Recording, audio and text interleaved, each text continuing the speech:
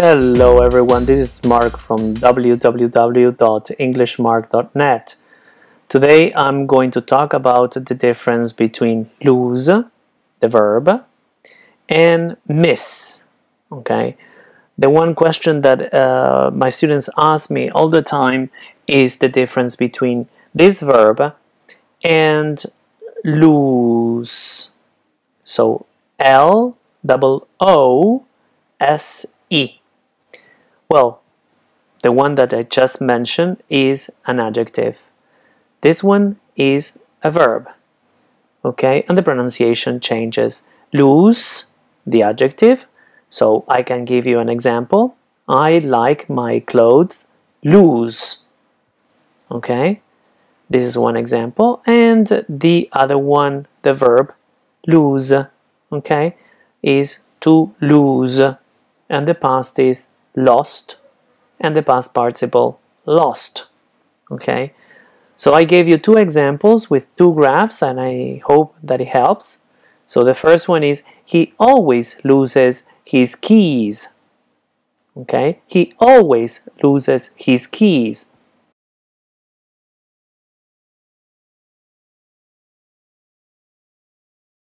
And the other example I gave you is I lost my appetite when I saw the kind of pizza. Okay, maybe there was something in the pizza that I didn't like, so I lost my appetite. This is what um, I want to say about lose, and there is something else. Below, if you look uh, on the rectangle, the light blue rectangle, I give you another example to show you the difference. We always get lost when we come to Rome we always get lost when we come to Rome. This means that um, we can't find our way in Rome. We always get lost. If you don't understand the verb uh, to get, there is a lesson on my channel uh, talking about get. Okay, so I, I advise you to just uh, go there and take a look at it. Then we have in the rectangle, the uh, orange rectangle, miss. Miss, the uh, past of miss is missed.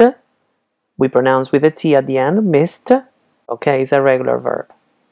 So I give you two graphs so to help you to understand and to make the difference between lose and miss.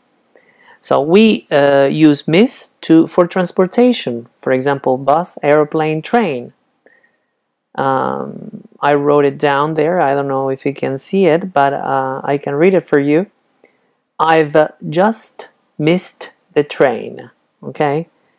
Many of my students they uh, say um, instead of miss they use lose or lose. Yes, lose.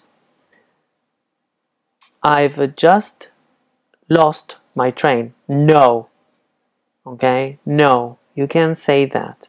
We say, I've just missed the train or the bus or whatever. Okay, missed. Don't forget that. Now, for feelings, for feelings, uh, we use miss. So, uh, for example, a person you haven't seen for long, you can say, I miss you. Okay, I miss you. Okay, and uh, for a person or for uh, an object, for example, he misses his car. Okay, he's always taking the bus to work. Okay? So he misses his car. Okay? So I hope these uh, two verbs are more um, understandable now. And I hope you don't have any problems. Okay? So if you have any questions you can um, just post them under this video. And um, have a great day. I see I hope to see you next time. And please subscribe and uh, share my videos. So, have a nice day. Bye bye.